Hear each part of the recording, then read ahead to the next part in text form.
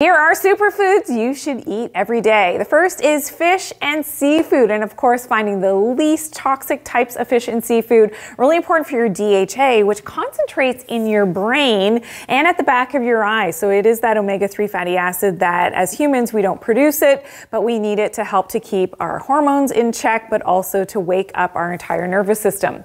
The second food is cranberries. Now, cranberries are great throughout the seasons, loaded in antioxidants, and helps to support that healthy urinary tract. And eggs. Now, eggs, of course, finding the highest quality eggs, pasture raised eggs that you know that those hens are running around and eating the right food is very important, giving you your protein, some healthy fat as well, and is helping to stabilize your hormones because it's not going to raise your blood glucose levels when you're eating enough protein from your eggs. Follow for more natural health tips.